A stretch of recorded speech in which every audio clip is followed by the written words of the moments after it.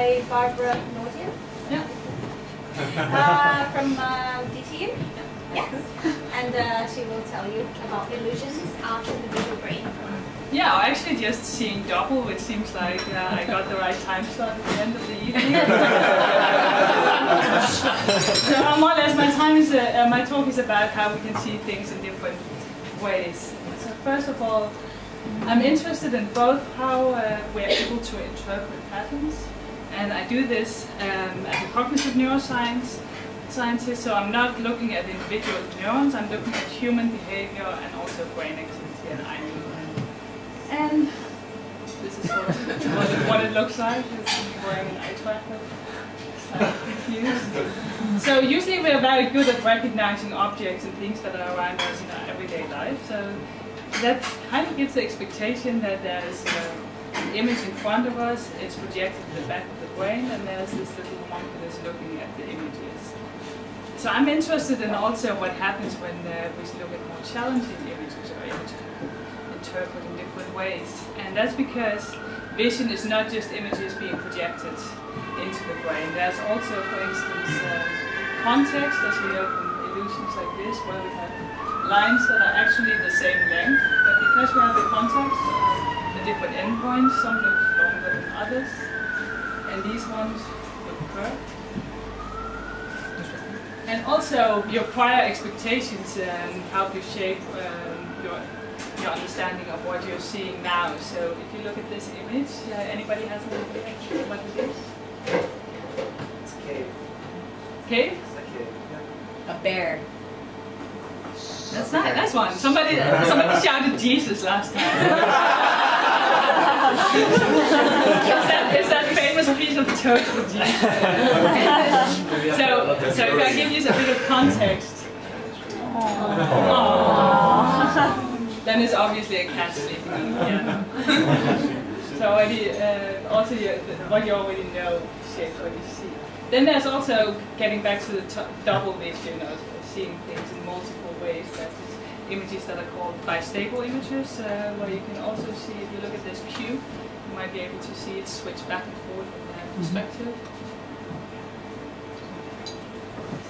So more or less, this, this, and the same goes for this one, where there's a hidden image of saxophone player or face.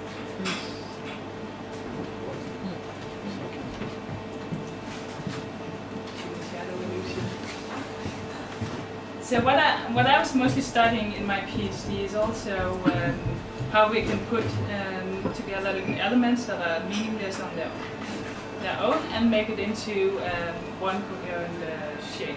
How we can make sense of local details and uh, pull them all together. Just to give you an example, if you look at these patches, um, do you see anything recognizable in them?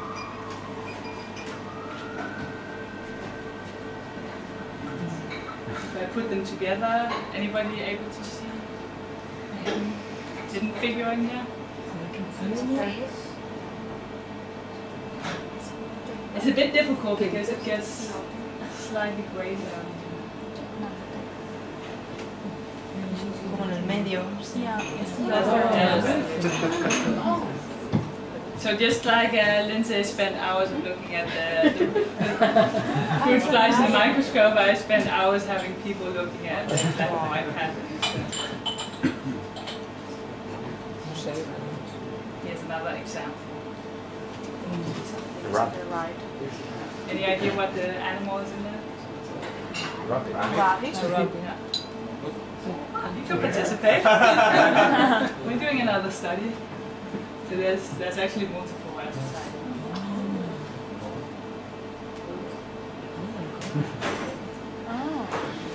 ¿Pero qué es? Rabbits. so, so one of the questions I was interested in, why do we actually look when we're confronted with images like that, that first seems like black and white patterns, and eventually we recognize something? And where do we start looking, and where do we look when we actually recognize so what happens with our eye movements when we go from black and white pattern to Dalmatian? And I use these images called emerging images. Um, they come from a computer science lab and they're actually used to also benchmark computer vision algorithms with because humans can usually eventually recognize something hidden in here, but uh, computers are really bad at uh, they actually don't recognize whether there's an object or not. And they're generated from, I don't know if anybody can recognize this one. Corridor or something? So, and they're made from um, 3D uh, 3D figures, and then you map on uh, patterns onto the 3D model, and then you make a very similar background, and that generates these images that are challenging, challenging to recognize. But if you look at them for s- several seconds um, while really paying attention, most participants were able to recognize them. We did this uh, as an eye tracking experiment, um, so had people have their heads in this lovely medieval torture instrument. There's no uh, guillotine involved, uh, it's just to keep the head steady. And then uh, the fun of looking at pictures for hours and pressing a button when you recognize something. While the eye tracker is tracking uh, where people are looking at. Actually, uh, what we found out was that people are remarkably good at uh, finding the right location. So even in the beginning, that uh, within the first second, they're looking at where the hidden object is. Uh, in this case, a gorilla. And at the moment of recognition, they're usually spot on on the object. This was um, so. These are the eye movements of uh, 18 participants. Um, heat map, but uh, these are for uh, people who eventually recognize the image. We also had participants that were completely off or looking in some other direction. I should also say, since there's a lot of scientists in here, we did.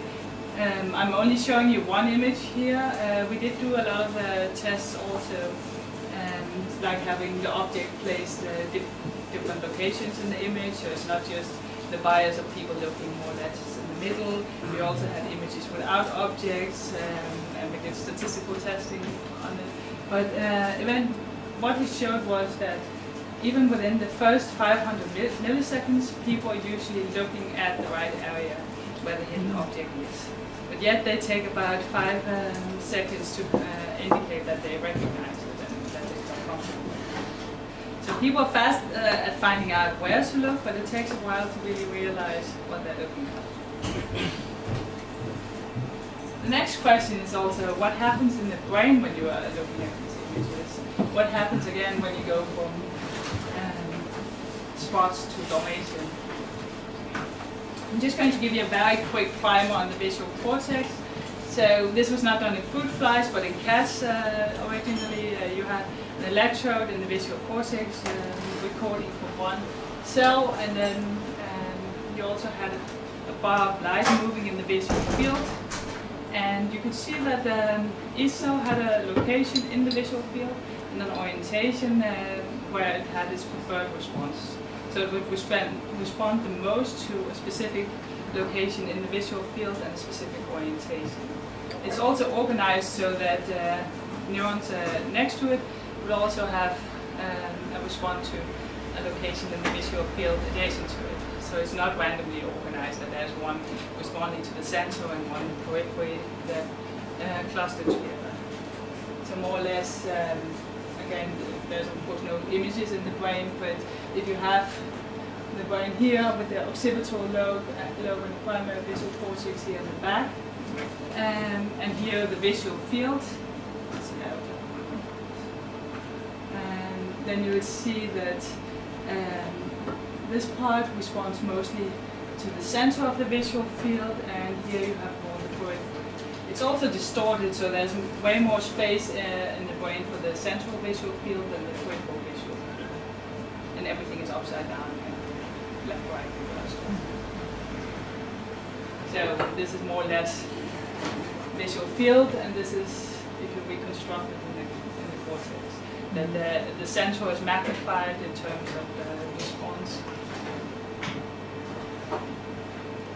And I did my experiments with the MRI, so here's just regular MRI scan, and I worked uh, with functional MRI, so also looking at not only the structure but also where there's more blood um, uh, indicating activity. And for that also, again, you have this uh, organization of the visual brain that you can see there's a response more to the here in the back, more to the center of the visual field and So because you can map that, you can find out which part of the brain responds to which part uh, of um, the stimuli where the person is looking. And I use that also to then have a look at what happens before and after recognition. And uh, what I found was if you subtract um, brain activity before people were able to recognize the images and afterwards, you actually also find and project the, the brain activity back into the visual field coordinates. You also uh, find some of the same patterns almost as the eye movements. There was also an increase in activity in the in the areas of the brain that respond to that specific location where people will also attend. As you say, in, in these experiments, uh, of course, people keep their eyes uh, fixated on the middle of the screen, so it's not just because they move their eyes around. So what's, um, yeah, what's interesting about this is also usually um, the earlier visual cortex is mostly thought to just respond to what's in the visual field, but here we see also um, moment of recognition um, changes the activity there. So why why is this all uh, useful to study, or why do I think that we should study not only simple objects but also things that are really complicated to recognize? Um, for instance, also if we're working in the computer vision and trying to figure out how humans are recognizing things, if you take this and just do a Google image search on it, Google does a fairly good job.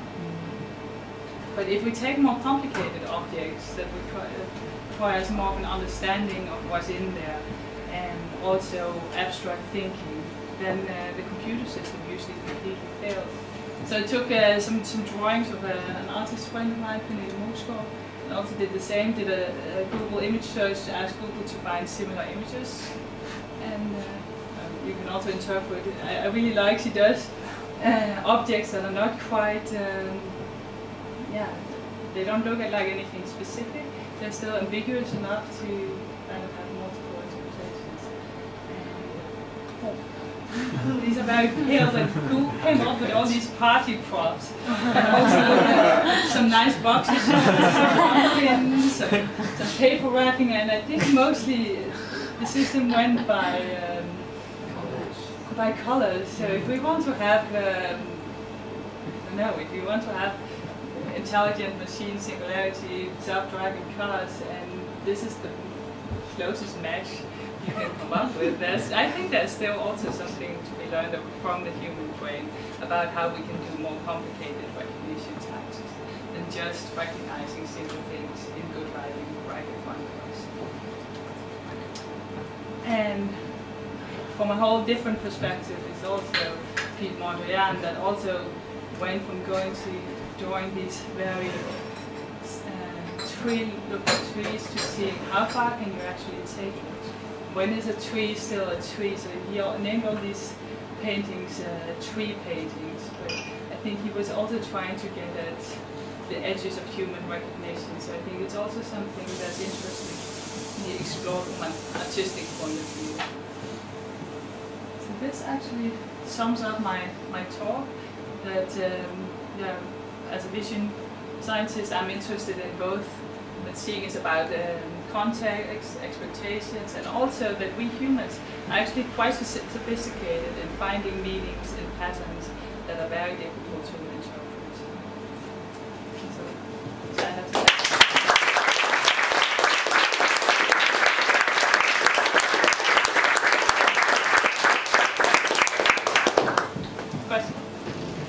Yes. I won't even say anything. One, two, three. You must have. First, um, yeah, it's interesting. Thank you for the wonderful talk, by the way. Thank you. Um, if you go back a few slides to the one where Google found a bunch of boxers and like pumpkins, does a human perform somehow better at this? Do you think you would? I don't know. I don't think so. So If you were given access to all the images you could find, would you you go by color? Would you go by Maybe I shape? find like uh, conch shell, but if I'm colorblind, I might find like a poo emoji up top in the row. that swirl. Um, so, so I'm wondering like, what is a, what is the objective like, good answer here? What should the algorithm find? Yeah, that's a. I think I also try to do it with some some simple line drawings also, and there I think also humans would still perform much better. Right here is also I don't have a metric for what is a good match or good recognition. Yeah, I guess it would also depend on maybe what specific task you have in mind. Would humans also find the tree drawing in the next slide, the last one, as a tree? Uh, maybe some would, but, but most people agree with the artist, or is that just too abstract? I think that's that's why the interesting part comes when, when there's not agreement uh, I think that's also why we spend so much time looking. Uh, people still spend a lot of time looking at art and looking at things that are ambiguous, looking in the clouds and finding shapes, and uh, I think that's also what keeps us interested in a way. And I can imagine there's maybe also yeah a, a, part, a, a reward in finding something where you didn't expect to find it until you took a closer look. So very nice presentation uh, regarding the, the dot pictures. It, how, how I don't know if you know, but how does the brain, the human brain, react when the person knows what it's looking for? For example, if I want to find my keys, I cannot find them.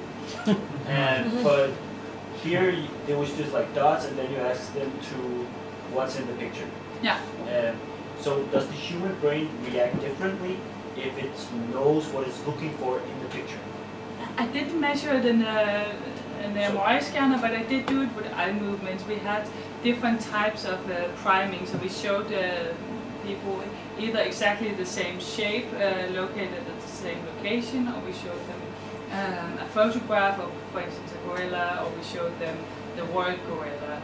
And they had pretty similar eye movements, so I think there's still something in, inherent in the structure, in the images. Um, that, that attracts the eye movement where people still get the idea that that this is probably the most sensible place to look. But they were much faster at recognizing the image. So, so because you have, I think you don't have to search that much or think that much. What is it? If you already have even just the words to, to guide you into that.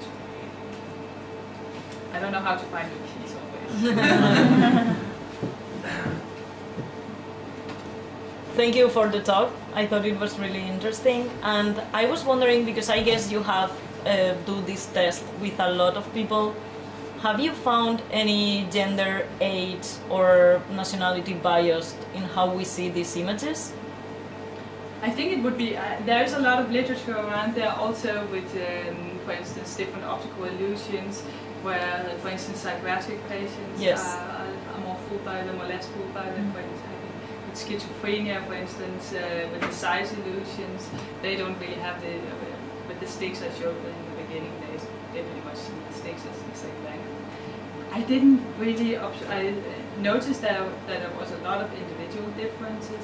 I didn't really see it linked to gender, but it was really a challenge to find images, uh, and I did go through hundreds of images to find a set that was challenging enough that people didn't recognize it immediately, but still the majority would recognize them. But I think um, yeah, we we also did it mainly with psycho- uh, with psychology students as and medicine students, which is typical of uh, most cognitive neuroscience experiments. And I think yeah, you could also go out and explore them with different ages and different populations. Noticed you had a few um, animals in that in those pictures. One of the gorilla was, of course, a face. I'm wondering whether there's facial recognition if the if it moved faster when there was a face portrayed in the dots. They were they were all animals actually. It's just uh, yeah, envision if it's not a face or, or a place, then it's an object usually. and so I also call the animals objects, but they were all animals. And as I think when you create things in 3D, those animals have very iconic shapes. Or, yeah. giraffe or a horse or, a gorilla, something like that. So and people were all always looking at the front or the face. part. So there was no, I suppose specifically with the gorilla, because of it's such a similar uh, shape to a human face. Was there any speed difference? Uh, I don't think so, no. But people uh, were very consistent with the gorilla because it has this long shape also as well. Yeah, I, I was thinking actually this thing of uh, people in the first 500 milliseconds, I I think you said that they focus on the area where the shape actually is. Uh, because I had the same feeling when I look Mm. at the figures at the very beginning. I was just like, I don't know why, but my sight just went straight to, to where it's supposed to be. I couldn't see anything, but I know that it was there somehow. Uh, do you have? Because I guess that there can be patterns almost everywhere in those pictures that you show, even if there is not a gorilla or whatever. But that you can always find something, I guess, if you keep looking. Uh, do you have any idea of what's actually driving such a fast response to that? I think there's still more structure. Um, I did, uh, so a lot of people had the same experience as you. I think I had them, um, like a nature documentary, do a little voiceover when I was testing the stimuli. So I had people talk, say and tell me what they were actually experiencing as they were seeing the images, and a lot of it was, uh, yeah, I think I see something there. I think it's over there, uh, without necessarily recognizing it. So I think a lot of people had that experience that, that they knew where there was something happening. Um, I try to do um, some of the more common uh, vision algorithms. So I did um, edge detection and saliency modeling and a few others to see if any of any computer uh, models uh, could predict where people would be looking and they wouldn't be wrong. Okay. I think it's still uh, maybe I should investigate this also with some computer scientists because uh, I think it's still we, we don't really know what. It's very interesting. You? Uh, well, I think it's also kind of interesting that there's always animals in the figures. Like, uh, it kind of reminds me of being in a forest or a wood somewhere or something in nature and you see some kind of figure of something. Often you have to look a while until you recognize by movement that there's something there. And if you're, if as a human, developed in this kind of environment, it matters a lot if you can spot a frog on a log or something and then catch it and eat it, or uh, like uh, not get eaten by a jaguar, which is kind of camouflage, or um, you see its movement. So it, if we're very primed to recognize those kind of patterns of animal faces or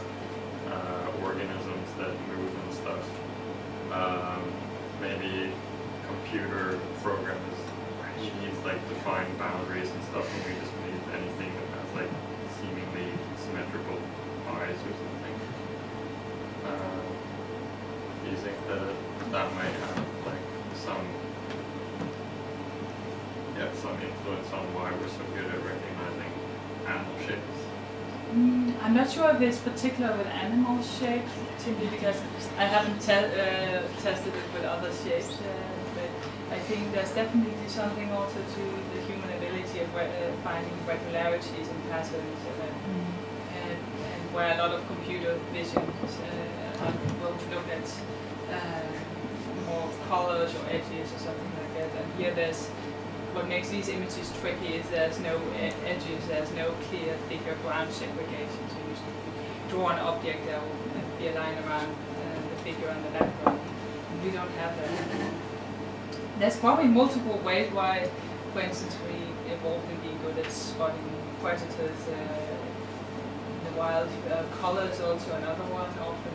I think there's also a bit like the image of the Dalmatian I had. There's a, another famous psychology image of the, in black and white where there's the predator hidden and you can only see if you have it in color. So I think there's a lot of different cues also maybe detecting different camouflage or uh, Last question here. Yeah. Can then other animals do the same as we do, or is only like humans and they have this ability? I don't know.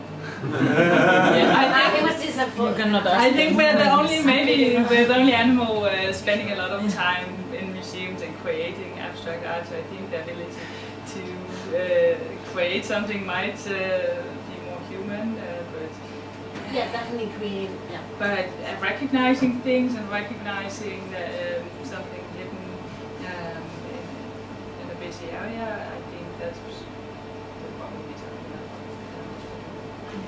about. Animals, many animals also see differently from Yeah. humans. Yeah, yeah, you yeah. know. They might have different mechanisms, different percep- perception of the image. Yeah, yeah, definitely. Thank you so much. Thank you, Art.